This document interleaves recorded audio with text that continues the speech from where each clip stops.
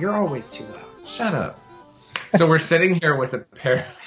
I don't have my I don't have my camera connected to the computer, but we're sitting here with one pair of Apple earbuds split between us, like two girls in the library at school. Yes.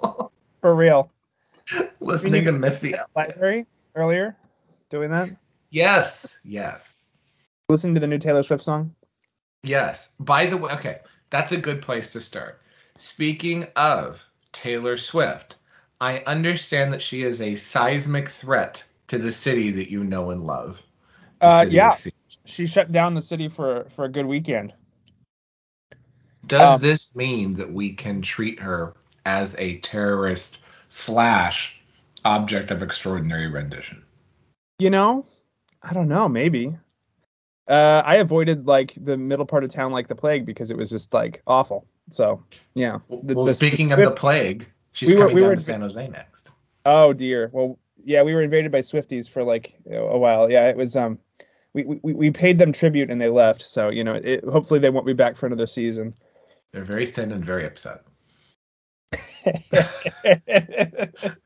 I don't think they're all very thin. what? I, I've met some hefty Swifties. I think you already found the episode title. We're not even a full minute and a half in yet. Oh, it's good to be back.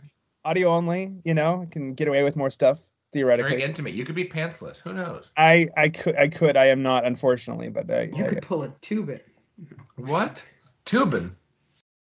God, is he back? Is he back on CNN? I don't know. I don't know. I don't watch. Do you actually? That's a very good start. Do you watch any cable news no. now? I, I I preserve my brain cells.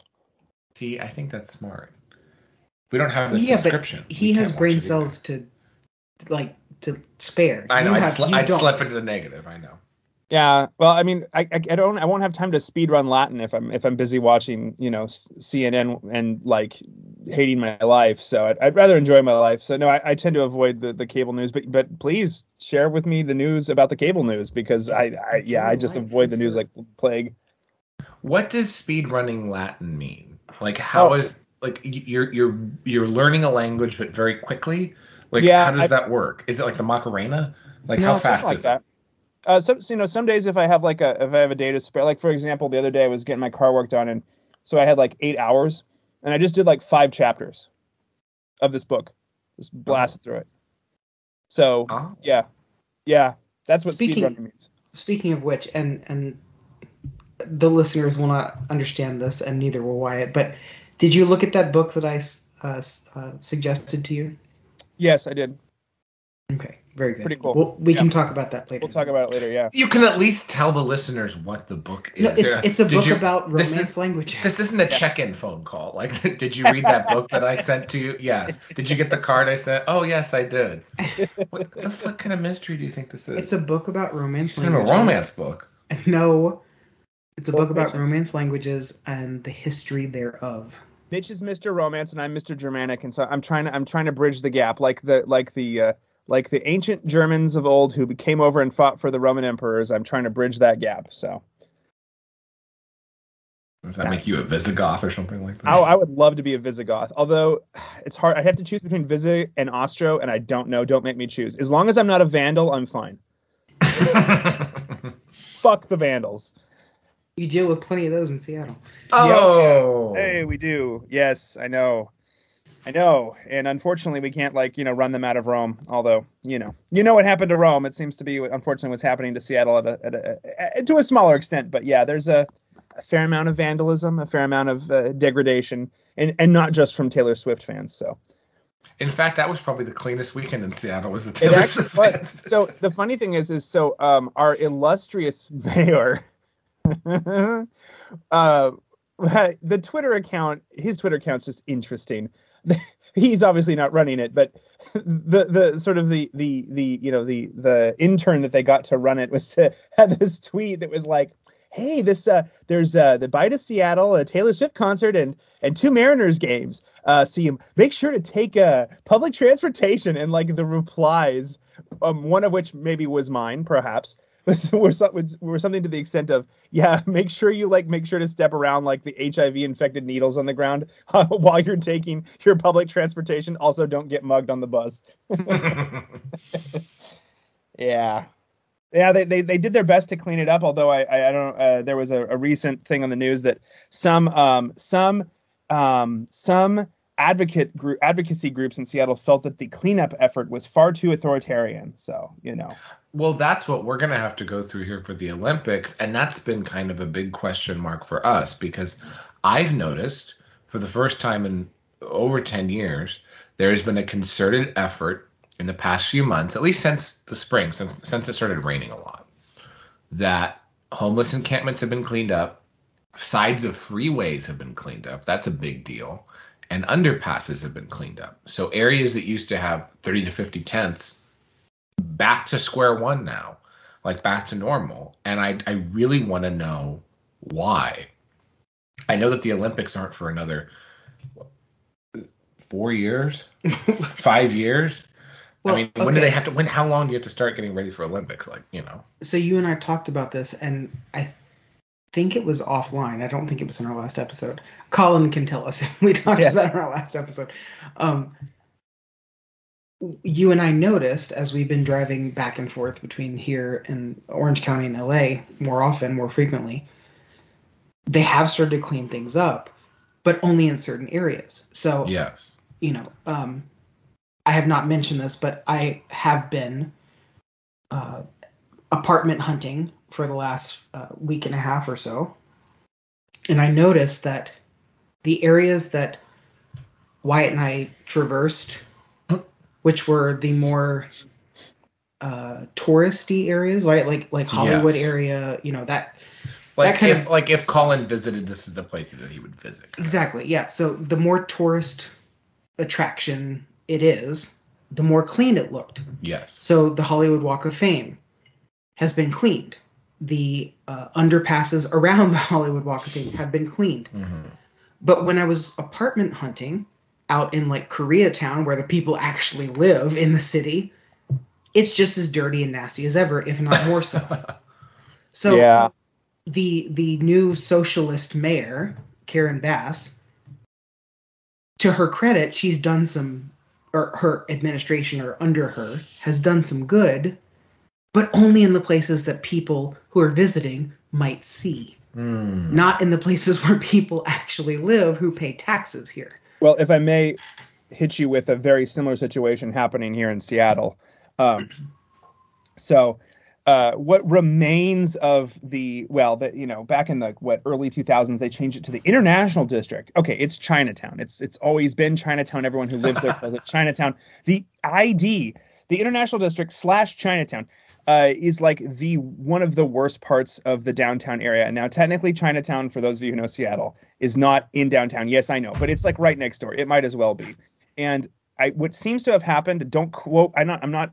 Don't quote me on this. This is just my impression as somebody who's just a non-expert on all policing issues. But it seems like they've, excuse me, attempted to clean out parts of downtown. But what they've done is they've essentially pushed the worst offenders south into Chinatown um, I highly recommend for all of the, you know, for our many, many listeners, we hope to have many, many listeners. Hopefully, uh, check out Jonathan Choe on Twitter because he's a he's a local Seattle. If you're interested at all in like sort of the the the degeneracy that is Seattle, um, he's a he's a local Seattle based um, independent journalist, and his whole thing is like homelessness and opioid crisis. That's his main mm. stuff, and he actually goes out at night with like a body cam on and like he's actually gotten to know people and not all of them i mean a lot of them are people who obviously have have issues but not all of them are like the worst but there are several of there's also like those bad apples and his area the, the beat that he walks is really near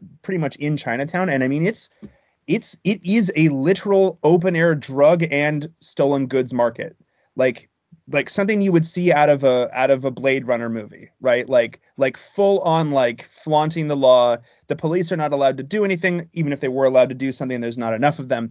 So it's just like Chinatown is really bad in Seattle. It's one of the worst parts of downtown. Um, and so it's it's also interesting that in it sounds like uh, from what you've you've said, Mitch, that Koreatown which is not Chinatown, but Koreatown. Also, this you know formerly um, um, industrious, uh, or more orderly uh, immigrant neighborhood has now become sort of is getting worse. That's a shame to me to hear that because the thing, the same thing seems to be happening here. I guess is what I'm trying to say. Well, and and that neighborhood, like here, Koreatown, like the the they they there's part of it that they've called Westlake now, which is the really bad part. It's it's just next to downtown, so it's right across the little freeway pass. It's right there. Has been the area that's been kind of the worst. So if you're traveling through anywhere else in LA to downtown from like the whole western part of the city, you go through Koreatown, Westlake, and it's like, okay, Koreatown itself, and then you get into Westlake, it's like, ooh, this is really bad. And you get back into downtown and it's okay again. So it's this weird, like, I don't know, like bridge, like moat or something like that that they've created that's really bad. And it's sad to me that, like, the fact that they put up a sign because in, in LA has like a, like 235 neighborhoods, and so each one gets its own custom sign about like, oh, this is Miracle Mile, this is you know West Little LA, Armenia. Little Armenia, which has a little Bangladesh, but they put up a sign that says Skid Row, so that's an official neighborhood name, and as soon as they did that, I'm like, oh, they're not serious, like they will never clean this up if they're actually calling it Skid Row. Which, by the way, because I've been apartment hunting on uh, on your Apple Maps of of LA, on Zillow, on Apartments.com, Skid Row is an actual neighborhood that they have Nice. listed, Why? and it's like, okay, so anyone who owns an like a property there who's trying to get people to rent it or live in it or whatever, they. You know, kiss your ass goodbye. Like no one who wants to live in something called Skid Row. Who wants to live on Cesar Chavez, you Oh, know, God. Boulevard. Like any any city that has a Cesar Chavez or I'm sorry, Martin Luther King Jr. Austin. Boulevard, Austin has a Austin has a Cesar Chavez, but they're all bad. No, well, in Austin, well, I haven't been, I guess. eh, I- Cesar Chavez is downtown in Austin, so you kind of get this like weird mixture of good and bad blocks, I guess. It's not like a, the worst part of Austin, though, at least not in my record. Maybe that's changed over the past three years since I've been there, Well, but I've been Yeah, know. I've been to many many many big cities, you know, driving through across across the country. Anywhere that there's a Martin Luther King Jr. you know boulevard or drive or whatever, it's always in a very bad area of town. And that's really sad to his legacy because he has a good legacy for the most part. And it, I don't know, it's just kind of sad to me. no, the whole thing is tragic. Um, yeah, it's in, well, it's, it's interesting, which is sort of a Pacific Northwest, very understated way of saying it's very bad. But it's interesting how, um, like in Chinatown in Seattle, like there's a lot of elderly people there, largely of Asian descent, right? Big surprise. Um, who've lived there like their whole lives or most of their lives, or they're like for some of many of them their entire lives, and like they're they can't afford to to move, right? They don't get to go and relocate. They're stuck, but they're like 70, having to take the bus. I mean, there's some heartbreaking images, footage that Jonathan Choe has taken of elderly women getting off city buses with walkers, like having to literally like step over just people sprawled out, passed out, or just people like selling heroin or shooting be heroin. physically safer in China. And that's Oh, the other yeah. thing too is that the Seattle Chinatown, San Francisco Chinatown, even some of the the well the Chinatown that's in the northern part of downtown here and stuff like that. Some of those neighborhoods go back 150 years. Yep. To when the railroads were built. Like this isn't like a oh these people came over 20 years ago. Like no, they that's literally a historic area for a reason. Yeah, it's it's it's a real shame. I mean, and obviously this is just it, these the, at least in Seattle the issues are everywhere. But this just it's I don't know. Growing up, I always really enjoyed going to Chinatown because the food was so good, Yeah. and it's it, it used to be a place that I loved to go right for like the day. Take the bus down there just because you don't have to park, and then you like you know you can go to like Uwajimaya, which is this gigantic um, Japanese superstore with all sorts of like crazy, interesting, cool stuff. Not just Japanese, but like sort of huge pan Asian selection, and you could get really good food, and you could like, you know, within a few blocks, you have so many different food options, and it's just like kind of an awesome place to be. But I just don't go there anymore. I mean, it's just not. it's not worth it, right? Like it's not worth the hepatitis. It's just not worth it, right? Like for the Anything needles and just the, the people. No. Never worth the hepatitis. Even the best humbao in the world is not worth hepatitis. I will tell you That that. chow is not that fun. Hey, oh. no, it's it, it's it's a shame because it's like it, it is one of the actual. It's one of the few places in Seattle that, up until recently, at least, decided sort of to kind of preserve the older buildings and to kind of preserve somewhat of the older flair of of you know and feeling and vibe of the neighborhood and not just level everything and build fucking condos for tech bros. But With mixed use on the on, on the first floor that nobody ever rents space in. yeah, Everyone loves. What is the point of having a, a first floor retail if nobody occupies it? Yeah, I, I, I, I guess it makes the community, which means the last, you know, people, the last, the, sli- the last slice of middle class that can afford to to own a house somewhere, feel a little bit better about the fact that they're getting completely bulldozed, like literally bulldozed. Well, I mean, this is It's just, it's just the lube, right? It's just a little bit of lube, make it a little bit nicer as it goes in, right? I, I don't know, maybe that's it, but you know, I've never heard somebody say that empty retail is just a little bit of lube, but I'll take it. I it's better you know, than no. It's better than no lube. I I saw something where I guess the mayor of Anchorage says they want to ship homeless into Los Angeles, um, and that's also on the heels of whether you know Greg Abbott from Texas, the governor of Texas, sends buses here, or they're sending people from Florida to to New York, uh, the migrants and things like that. Here's what I don't understand. Why is the only option to send these people further into the country? Yeah. Like, why is no one like? And I and I I mention this on Twitter sometimes. because boomer. We're Why? gonna own the libs by by by by what? By getting their kids into the school system? Pretty Like- much. Like we're, we're gonna own the libs by making sure that they have a Pretty right much. to work card.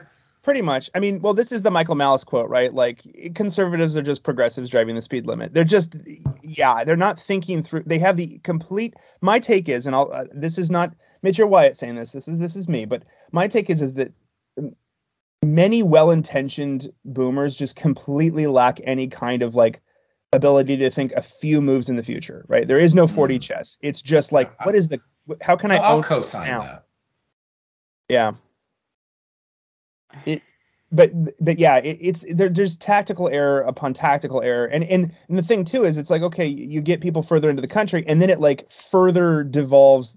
It makes these situations that we're talking about in not just the LA area, and not just the Seattle area, but really any you know major metropolitan area in the U.S. And With in ones ex- that have less resources to handle it, like Exactly. do it we really it, think that Sioux Falls, South Dakota, can handle no hundred, hundreds and hundreds of migrants coming in? And it makes Oh. it so much worse for the people there. And i think a lot of like sort of the boomer con mentality is well everyone who lives there is a lib. That's just as you guys have pointed out on your show is just not true. Like it is so much more mixed than you think and you're just making people hate you right? Like and you're not fixing anything so. Yeah. No it's Well, yeah.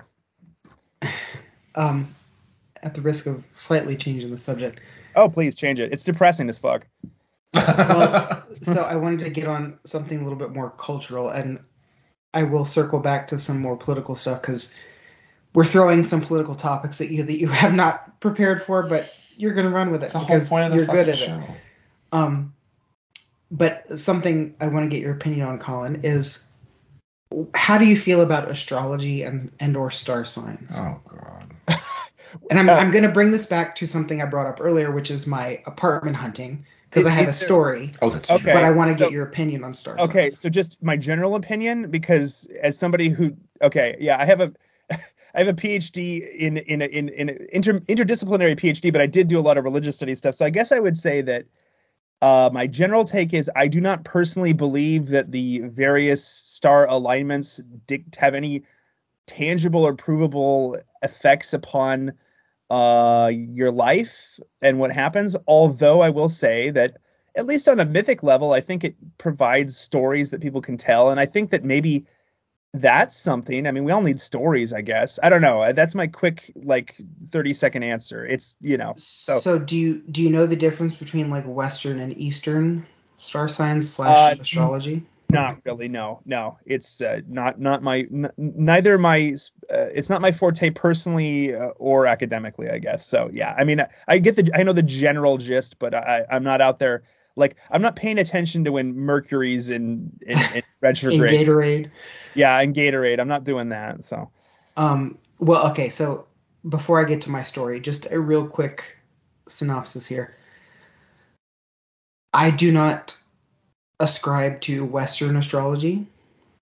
Uh, and this might be kind of shocking to some people listening and to you, Colin. A gay, but a gay that doesn't follow, that doesn't read the horoscopes. Interesting. I will note well, this. okay, but you know, you know me, and you know that I'm very, you know, kind of analytical, and I, you know, I also have my PhD, so I, I understand, you know, data and all of that stuff. Yes, I Um, love this PhD dick measuring contest. Let's go. Do it. No, so Western astrology I have a big problem with because I just think it's too kind of generic. It's too, you know, every year you have the same cycle over and over and over again. Yeah. What a lot of what a lot of Western people do not understand about Eastern astrology is that it's much it has a wider variety than we understand. So Eastern astrology, when I say that, I mean the um like the year of the right. So you hear people say that I was born in the year of the dog, the year of the dragon, right? So the Eastern calendar, which uh, you know corresponds with like Chinese New Year, etc Right. um, that encompasses an entire year encompasses one star sign. So when people hear that, they go, "Oh, well, an entire year is one sign, and then you have like you know every 12 years it repeats." Yes, but no. So it re- actually repeats every 48 years because you have four elemental signs paired with the 12 animal signs. So um, you have a four year cycle of one element. And so every 48 years, you'll have the same sign come up. So it's it's actually much more um, varied than people realize. So Okay. the reason I take more stock in it is number one for that, and number two, um, the the data shows that people in Eastern countries, excuse me, um, Japan in particular, because they are more, Japan is the most Western of the Eastern countries. Um, a lot of their marriages are based off of Eastern zodiac.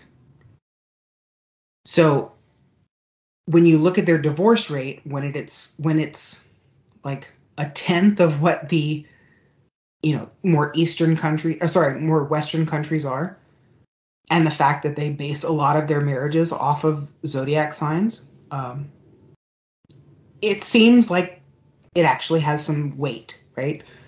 You can put some stock into the Eastern zodiac if it actually is, Yeah, I mean- indicative.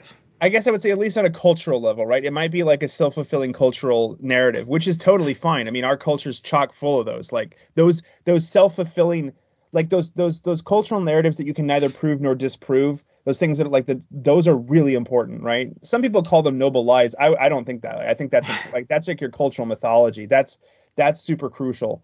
Um yeah, maybe. I mean, again, I, I don't know anything about it, so but no, I mean the, the Right, so- importance of the importance of a way of categorizing people within a culture is important, you know, if that culture is to survive, I think. So, yeah. So I, I know I know much more about Eastern astrology than I do Western astrology. So if if anyone wants to go, you know, uh, Mitch is Uh, currently taking readings. Uh, no, if anyone wants to go research their Eastern astrology, I suggest you do so. It's actually quite fascinating.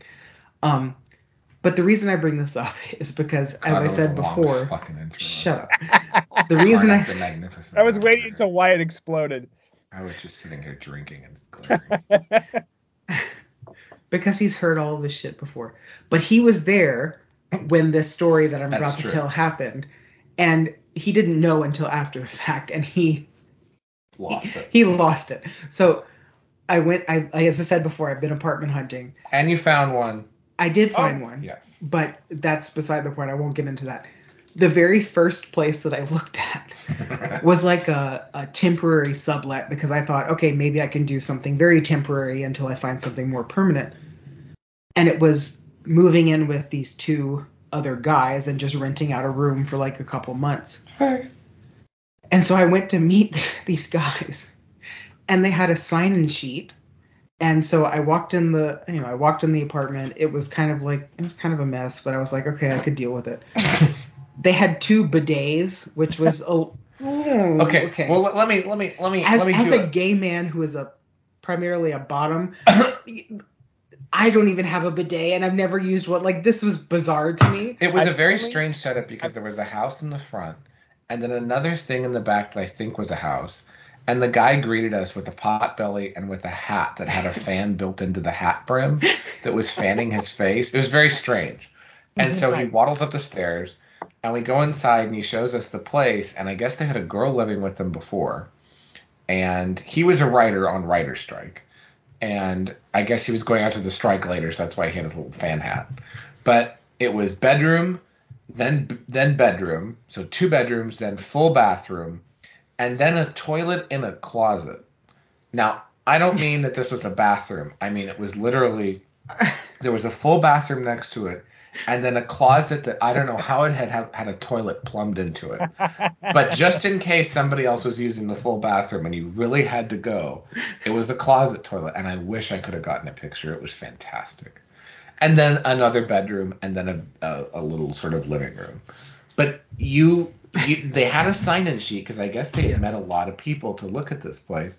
And then we walk out. They had yes, they had a sign-in sheet, and he he motioned to me to sign in. And as Wyatt is making small talk with this man with the the, the fan on his hat, like an internal propeller beanie. I, I've seen him. Yeah, Yes. I know what you mean.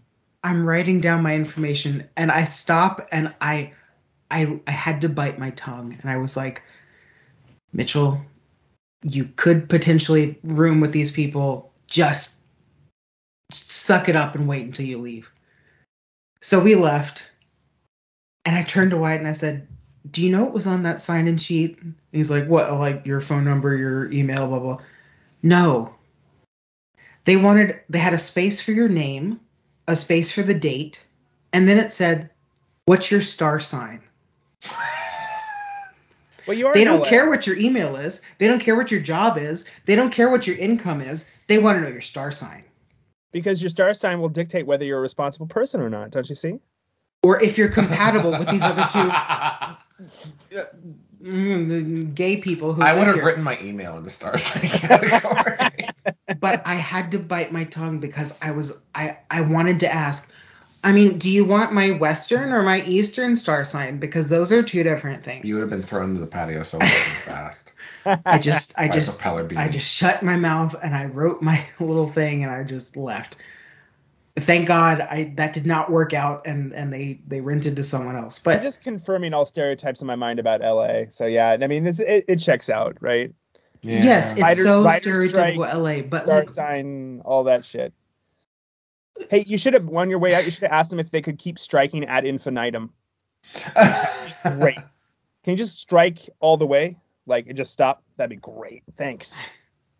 Anyhow, it's just if if if I had someone moving into like a room that I'm in the apartment or house that I was living in, I would want to know a lot of things, and star sign would be last on the list. I just I was in I was in shock and awe and just like what is going on? Is this the world that we live in? you could have gotten in water fights with the bidets though. That'd been fun. Oh god. No. you could have gone from bathroom to I, bathroom. I mean, I remember the first time I went to Asia, I was like, "Ooh, what? Like bidets in here? Let's yeah, squirt, squirt, hee hee." the guy actually gave it as like a selling point for the place. He's like, I don't know about you, but I've used a bidet for ten years, and I feel like every place should have them. And I was like, oh god.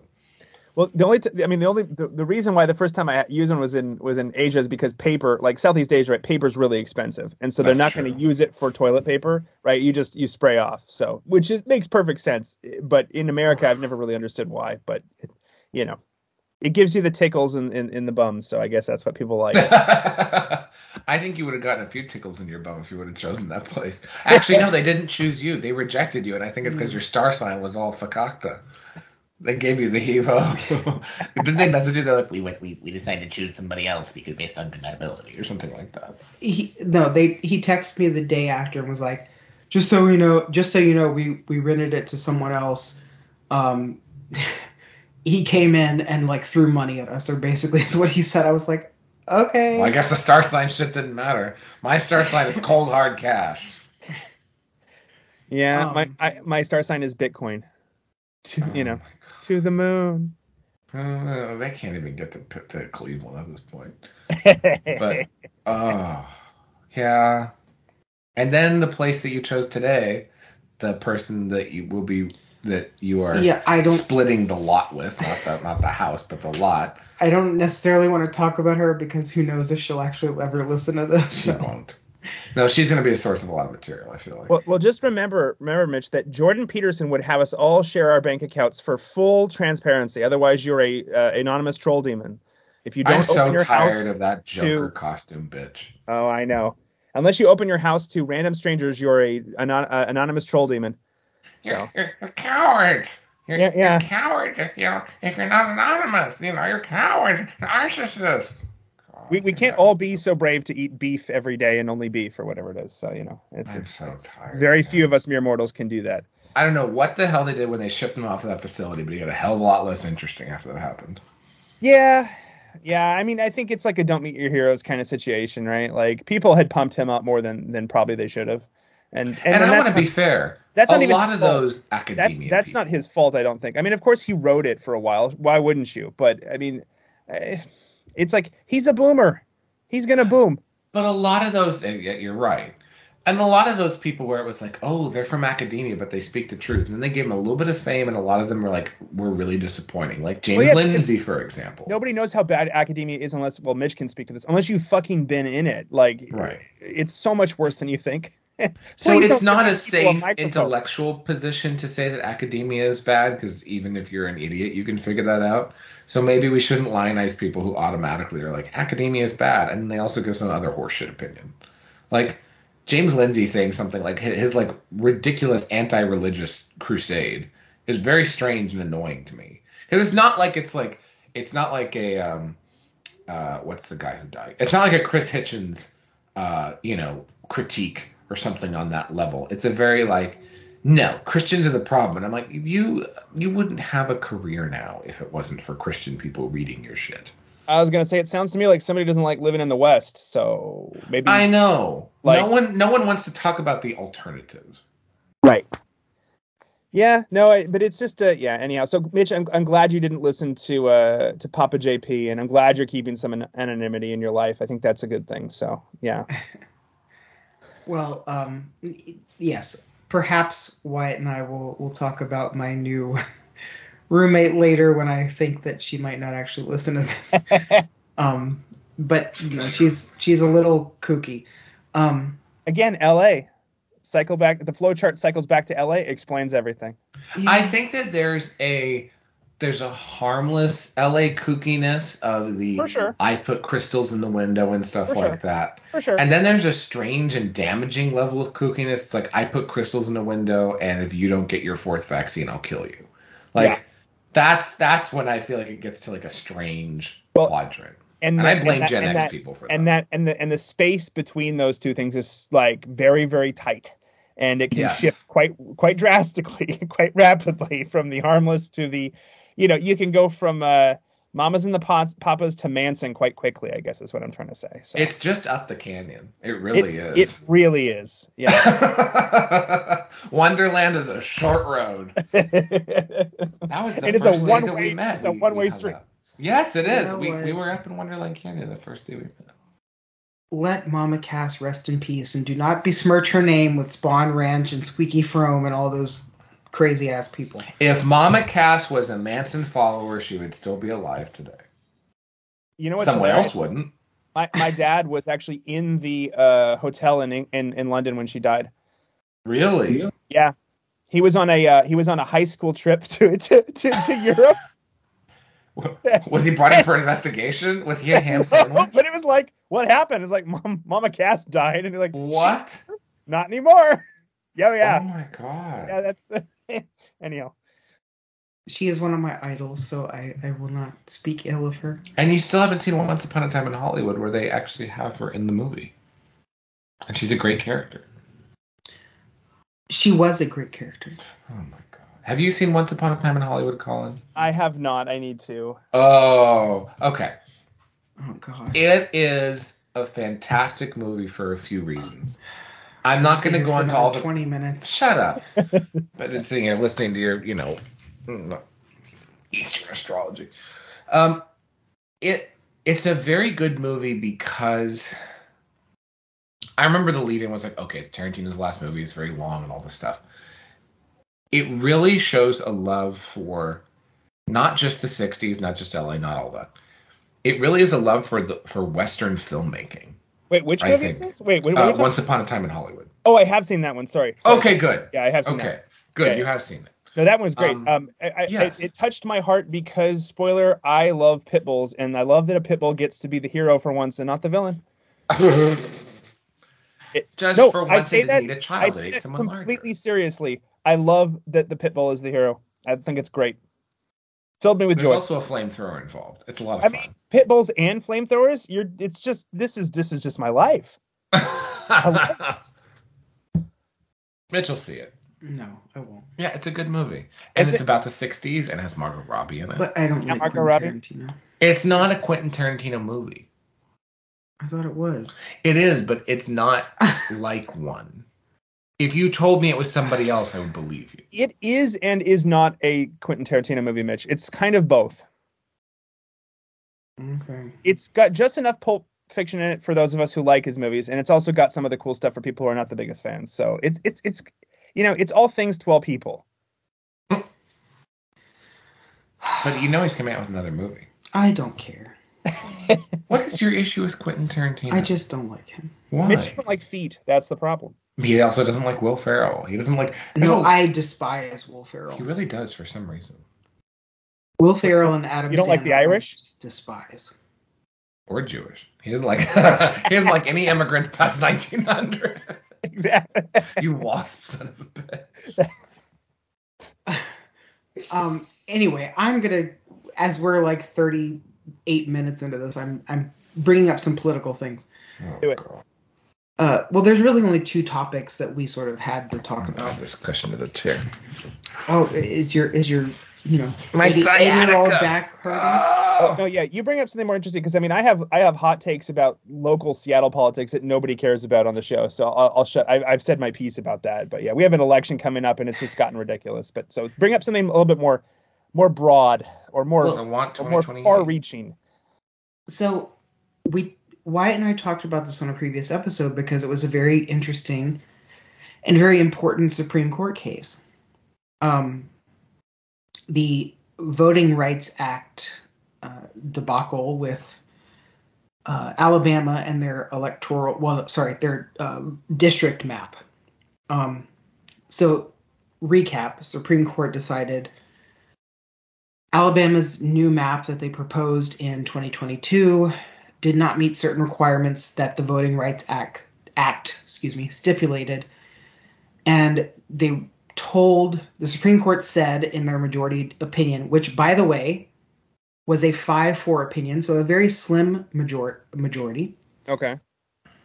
They said in the opinion that uh, Alabama had to re-proportion the map to have at least, so preferably two majority minority districts, or one majority minority district and one extremely close to my majority minority district. So meaning the black population in the state of Alabama could theoretically have two um, representatives. Okay. Um, because they they have a you know it's fair enough they have a high proportion of um, black citizens in the state of Alabama. Right. So it- the Voting Rights Act basically says this is only fair, right? so after that Supreme Court decision was passed down, Alabama said, okay, here's a map, and put out its new district proportionments, apportionments, however you want to say that. And to most, especially those on the left, it seems as though Alabama has directly defied the Supreme Court and it still only has one majority minority district and one district that is 40% black. And so there's now been legal challenges to this. So we will see how this comes out. But it brings up something very interesting and something that's never happened in the history of the Supreme Court. Because it was such a slim vote, right? So five to four. Right. Uh, Justice Kavanaugh was the one justice who wrote a concurring opinion. So you have the majority opinion, the dissent. So those were the two sides. And then Kavanaugh wrote a concurring opinion, which was sort of in the middle, because he was the fifth justice who sided with the majority, but had some stipulations and some disagreements with the actual published opinion. Okay. And one of his stipulations in his concurring opinion was very like sort of in the weeds and very legalese esque stuff that I'm going to be quite honest. I listened to Sarah Isgur talk about this three times. I I listened to a podcast, I rewound it three times to try and understand. I couldn't understand what the fuck she was talking about. So it's very, very, very technical stuff. But the interesting thing is, this one tiny sliver of a disagreement that Justice Kavanaugh had is what the state of Alabama clung to when they made their uh, new map. And so now we basically have a 4 4 Supreme Court with Kavanaugh in the middle. And Alabama was like, we see you, Supreme Court, and we see you, Kavanaugh, and we're going to go with you right down the middle and see what happens. So they're playing the bluff of the Supreme Court, and they're they're trying to play this out to see what happens. It's an interesting move. No, it is interesting. Yeah. Because you know how the legal we all know how the legal system works, right? It's going to take at least a year, if not two years, for any of this to come to any conclusion. So they've bought themselves some time. And in 2024, when we have our next election, they're going to use this new map that they've come up with that may or may not, you know, pass what the Supreme Court asked them to do. But it, but yeah, right. But the results the, the results of the Alabama elections will still theoretically hold, right? Despite right. the uh, yeah. So Yeah. they're they're pushing the limits here. And the interesting thing I think is this is the first time this has ever happened. This is the first time that we've ever had a five-four opinion with one person dissent, you know, one person, uh, sorry, concurring, and it's come down to the very smallest, minute, uh, in the weeds details that now we're gonna have to watch as they fight in court, back and forth. But doesn't this kind of I mean I, I you you know far more about this kind of Supreme Court stuff than I ever will. It's just it's it's I, I'm I'm living in the past and you're living in the present. You're it's you're, you probably have a healthier outlook. I'm always reading about the the 1200s. Uh, but but doesn't this also kind of jive with what you know other critiques that other people have said a bit for a while that like we are essentially ruled by the judicial system in a way, like like court rulings kind of dictate a huge amounts of policy, at least So this is- domestically, and it's Yes. like it's just kind of crazy in a way that that's how it works. But this to me as a non-expert, that's that's what comes to mind. Whether that's the what tyranny this of nine. yeah, something like that. It's like oh But- okay, But to be fair, you you you yes, you both make a good point here. But to be fair, this particular Supreme Court and the way it is laid out, uh, you know, thanks to the legacy of Trump and his appointees, um, they are they are turning this back to a Congress do your fucking job, right? So several times this uh, this term and the previous term, some of the some of the decisions that came down, this one not in particular because there's nothing Congress could have done, But many of the decisions that came down became a we're going to rule in this way, but in the way that we've written our opinions, it means Congress, you need to fucking pass a law. Like, stop sitting around and letting us make the laws because that's not our job, that's your job. So we're going to rule in a way that really puts the magnifying glass on you and makes you do your job. Yeah, so I mean, I'm going to give hope. it to the Supreme Court because they're doing their job. In all Right. honesty. I'm very skeptical as to whether Congress is capable of actually Congress. Oh, they're not. yeah. I- I They're- don't- what are you talking about? They're young, vibrant. Look at Mitch McConnell. He was he was so in awe of the office. He stopped for 20 seconds. Look, look at Dianne Feinstein. She could not even say I. She was Miss. She was Miss. AI. She was Miss San Francisco Bay 1922. What are you talking about? you I- could hear on the recording of the thing that's going around Twitter. Just say I. It just say I. and you know- She's going through this tirade, and I'm just like, oh She- god, this is me and Wyatt. Wyatt's telling me, just say I. Just say I. No, I'd be Diane. You'd be, you, and you know who the woman was telling her that was Senator Patty Murray. There you go. Oh, Was it? I didn't know that that yes, was Murray was nudging her, being just say Mom I. intended She's she like, was Murray. Oh, Murray. and she and she was like, I have to say the defense appropriations bill is good for our pet. Just say I. That was great. I, I. Here's the thing. Speaking of words that cannot be said, I cannot wait. And my friend and I always had a running bet on this for the 2020 election, for for Joe Biden especially. I am just waiting on one of these geriatrics to slip and say a racial slur. That's Yeah. all that I want. You know that they say them a lot. They just they're they're carefully edited and carefully muted, right? You know that there's like yeah. Right. They're like Right. talking about Hispanics and like he just really likes legumes. Like just move him along. But um, you know, something like that. Like I would really love to just and and, and like an old timey one, like racial slurs against the Irish or something. Like I really want to hear like like something turn of the century, something really classic. Yeah, can- like like something unite. anti-Italian or something like that. Yeah, the, Exactly like "Ah, get these the Guidos of my won't leave me alone. Yeah. This Yeah. this this Guido down in Florida won't shut up. Yeah. something like. Exactly. You know, someone's like, oh, you know, smells like WAP in this conference or something like that. Please. yeah, my WAP, I don't know. But Yeah, um, no, I, I, I'm I'm excited about that because you know they show like the the charts of like the average age of Congress and the fact that it's like steadily increasing to like this relatively unsustainable point. I think is fascinating. Well, Yeah, I but- think it's I think yeah. Sorry, go ahead, Mitch. No, I just wanted to bring this back because you said your take, but Wyatt, I wanted to because you and I have talked about this, you know, offline. This thing about Alabama, you've had some interesting commentary and takes on it. So, Well, what do you we went through the- first. We went through the situation. Well, what are they going to do? Uh, the furthest they could do is what refuse to seat representatives that Alabama elects in the Congress, and so that'll create its own sort of mini crisis, I guess, under congressional rules.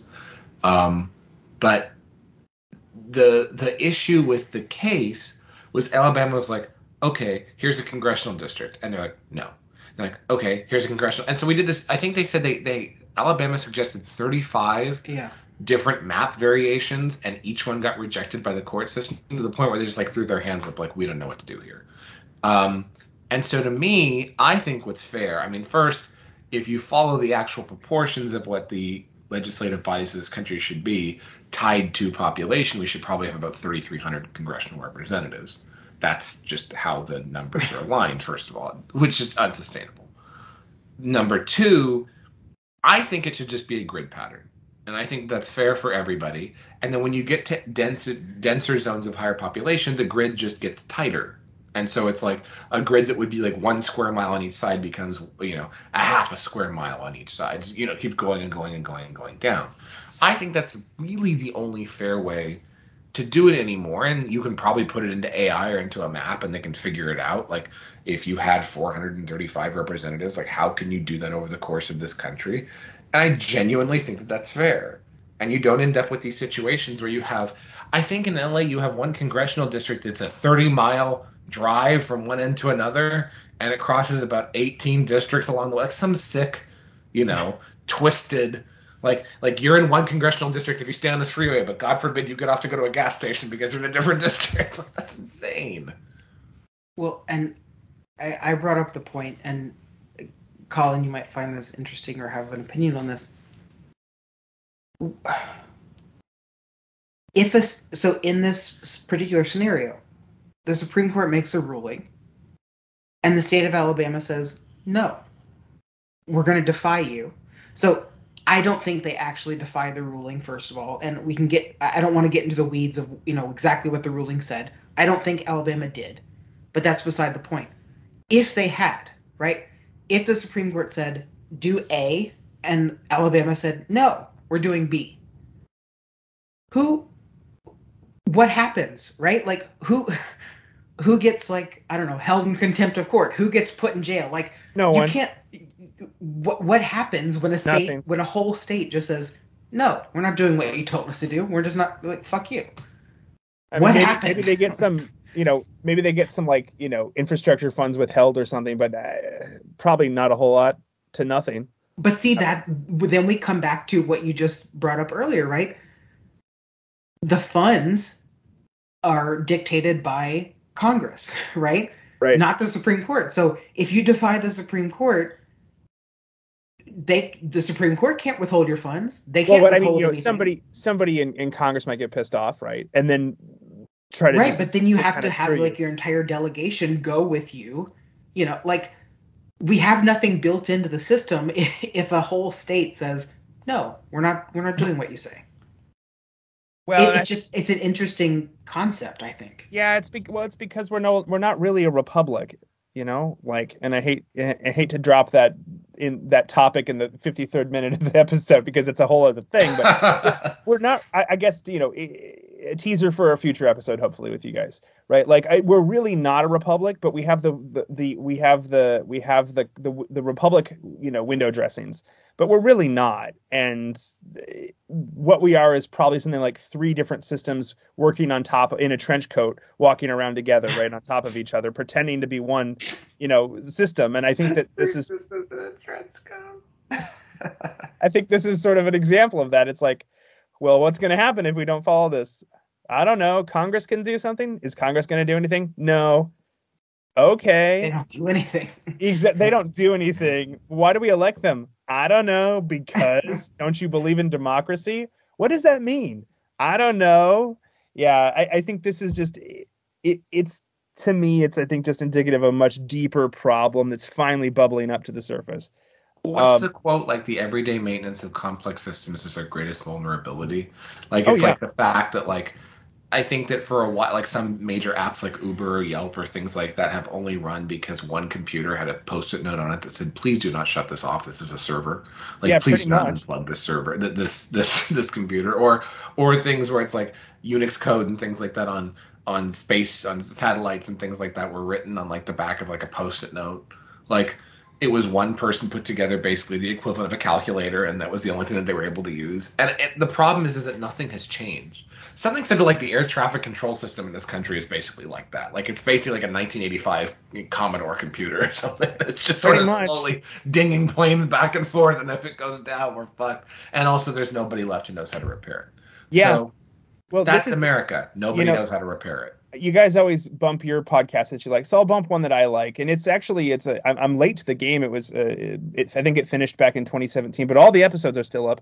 Patrick Wyman, who's a very um, talented uh, and awesome historian, specializes in in late Roman Empire uh, stuff, and he did a whole like 35 episode uh, podcast uh, called The Fall of Rome. Highly recommended. But it's interesting. I mean, aside from my nerdy interest, it is interesting listening to this podcast and then comparing Rome, late Rome, to America, completely different in, in many, many ways. But also, there's interesting thematic similarities, and this idea that, like, you know, oh, like once the Romans leave a region, yeah, nobody knows how to work the bathhouses anymore, and they break, and nobody knows how to make the part to fix it. You're like, I feel personally called out by that because that is all of America. Like somebody finally retires or dies or just gives up and quits, and they're like, oh, well, yeah, that that was Jim's job. Well, where's Jim? Oh, Jim's you know retired and he's in Boca.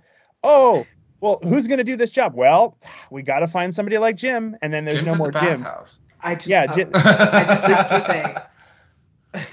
say, ninety percent of whoever listens to this just stopped listening as soon as you said bathhouse, and they started thinking about their next their next rendezvous. Because Well, Who do you think listens to this show? It's also very Roman Mitch, and so see, I'm speaking to different people here uh, simultaneously.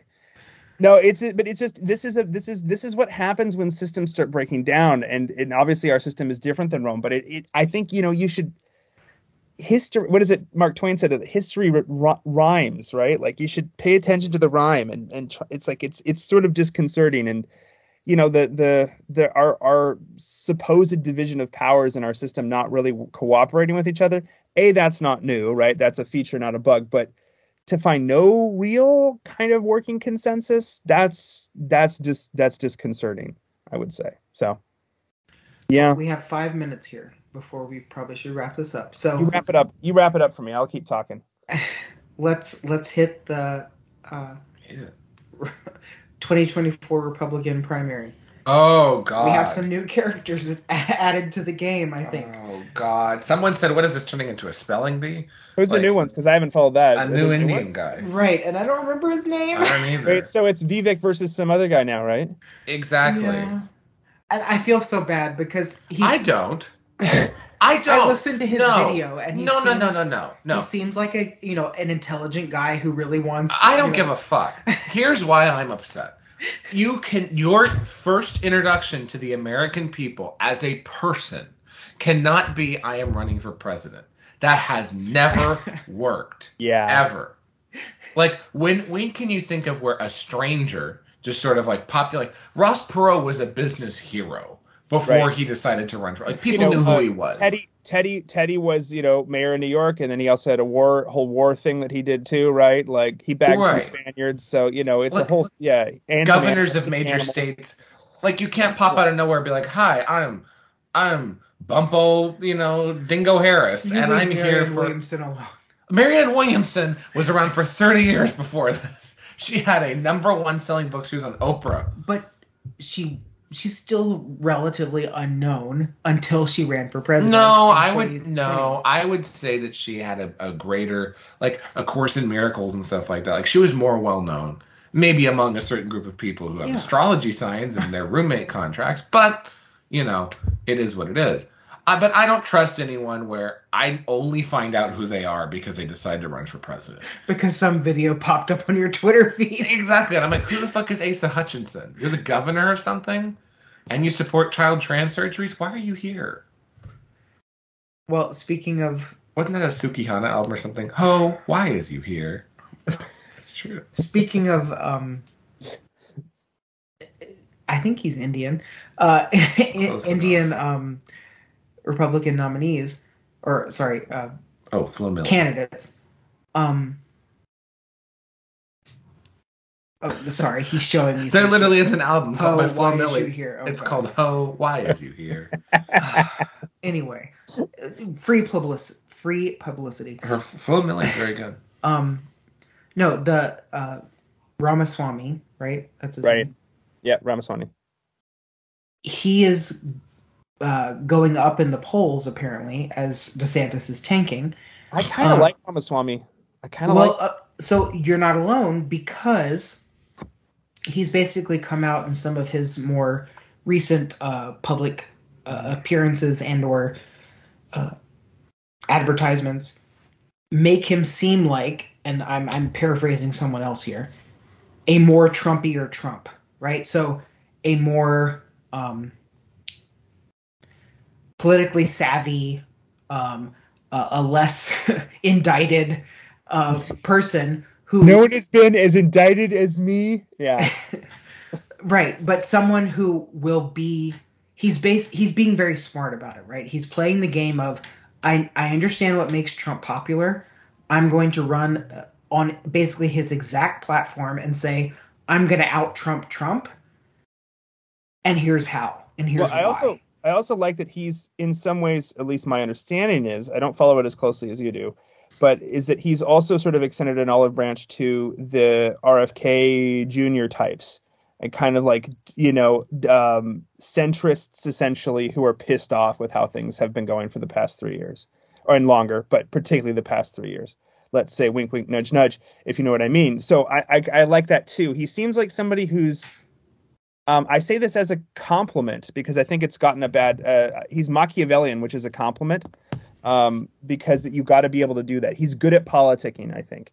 I, I I don't hold my breath. I don't think he's I don't think he's going to get the nomination. If he gets it, I'll I'll be blown away. But I do like that. Ramaswamy? he's- Yeah, that he's at least out there, kind of just trying stuff, just just doing his stuff, right? Uh, and not so worried about pleasing the uh, sort of established establishment GOP people. So I, I can appreciate that, right? Like even just on a personal level, like yeah, like that's neat. I, I don't know. Again, I I, I just I, I don't know if even if he were even if he were nominated, even if he won, I don't know what he could change at this point. But I mean, it's better than what we got. So You're, you're right. I don't think he's going to get the nomination, but he's playing a smart game. Is my Oh, I guess is my takeaway here. Yeah, yeah. Again, Machiavellian is not is a neutral statement, right? Like it could be you can be Machiavellian for good or for evil. Uh, I I don't, you know, but he's definitely savvy. So He's really running for that Secretary of Commerce role. Well, and again, to put a, a, a pin in this, DeSantis really just keeps kicking himself in the ass. He makes one blunder after another, and the most recent one is I'm sorry. The gay ad. No, no, no. He apparently said he was asked uh, by the press, "Would you consider making uh, RFK your running mate?" And he said, "No, no, no, but I might put him as head of FDA or CDC." And DeSantis is not serious. well, but when you stop and think about it, That's and an you go, unserious "Wait a minute." Yeah. RFK has been very vocal. Yes, he's right about a lot of things, uh, in my opinion. But when he's very vocal about uh, the, um, sorry, the, uh, uh, uh, basically the abortion pills, right? Right. And and having like free access to those to like even minors. For a Republican, for a very very far right Republican to say that I'm going to let him be in charge of FDA and CDC, what?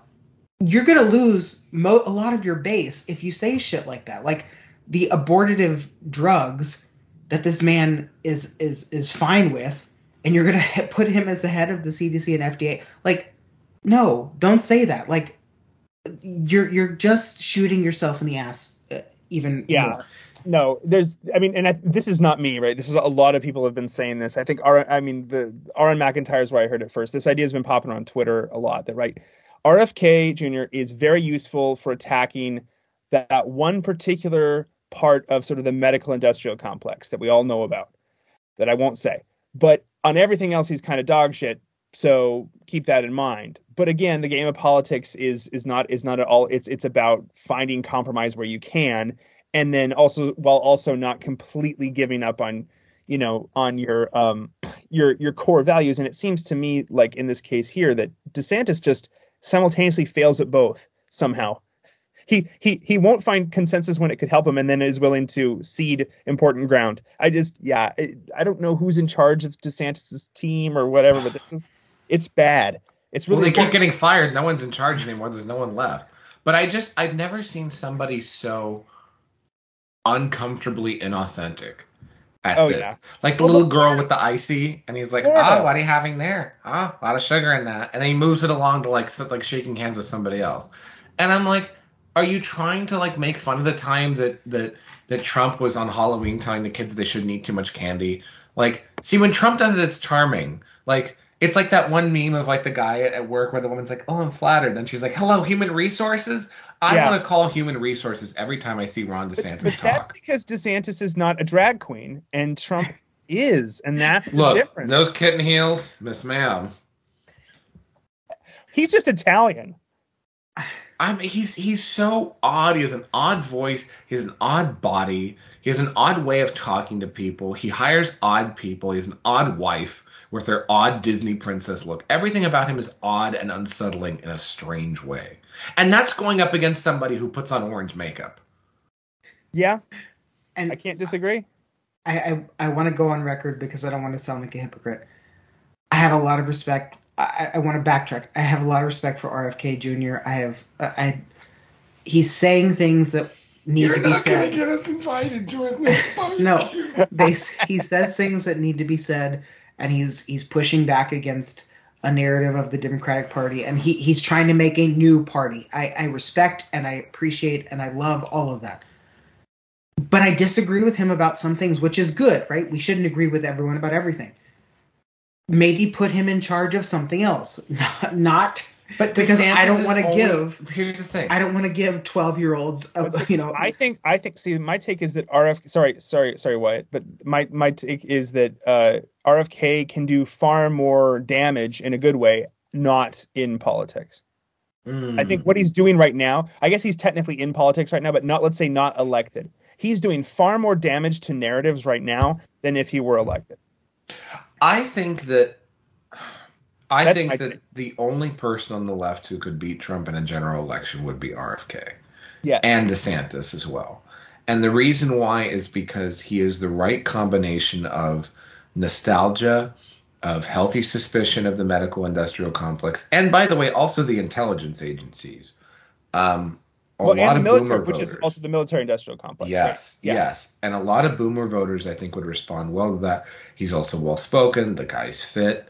He has a beautiful wife who's a successful actress. Like, there's a lot of good things he has going for him. In fact, did you know that Trump named him to a vaccine safety board back in 2017? So he actually worked in the Trump administration for a brief, a brief period of time. It was like a one month commission or something like that.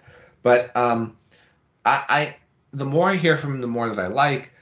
But I'm surprised that he's able to take more courageous positions than the majority of Republican primary candidates, especially when it comes to even criticizing Trump or trying to work towards the center or things like that. He's more courageous than, you know, let's say, you know, Chris Christie or some of these other people or Asa Hutchinson or, or even Mike Pence, who's just I, that is the most ununderstood.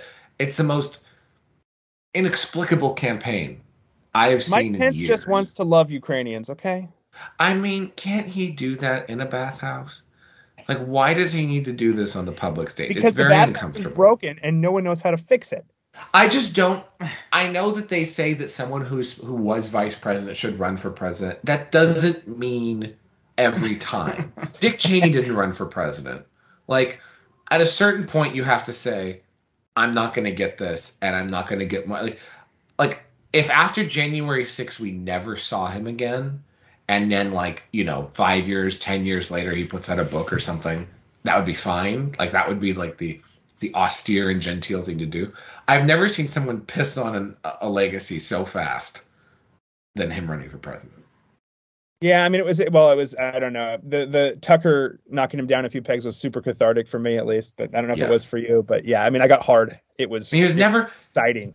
He the, the last time he I was so mad when Trump picked him in 2016 too. It was it was the maddest I was at the entire primary campaign or the or general campaign or all of that. I was most mad with Trump when he chose him. I was like, God damn it, because Pence was the only time Pence was good was in like this goes way back, like the 2007 2008, because it was like, okay, this guy's you know sort of genteel. He has some good answers in immigration and stuff like that. Like he could, he looks like you know the guy from C Lab 2021. Like he could be pretty good.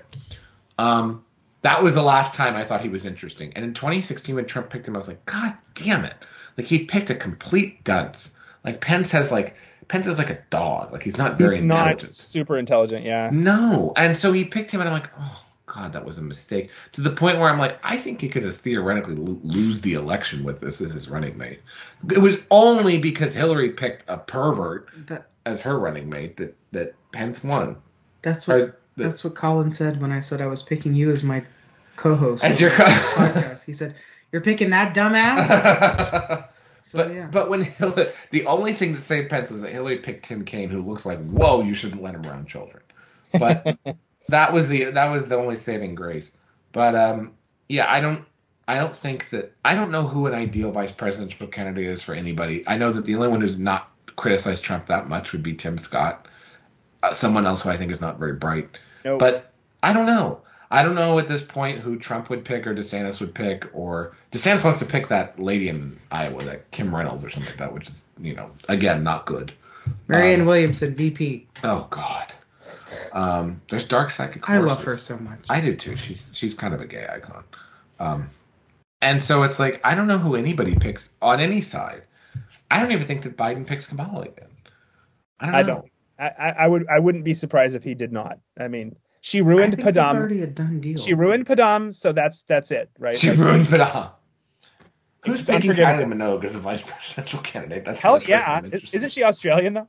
Yeah. Do you have to be though? Like, can't they just like not take the office? Like, you can technically pick Mickey Mouse as your vice president. You just they just can't be seated.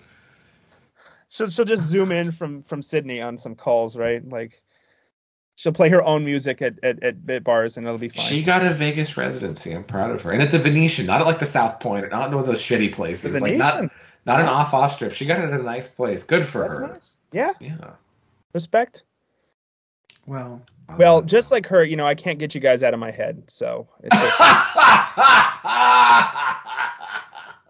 and on that note, Kamala ruining that wonderful song. She can go fuck herself. oh, all right. Let's stop.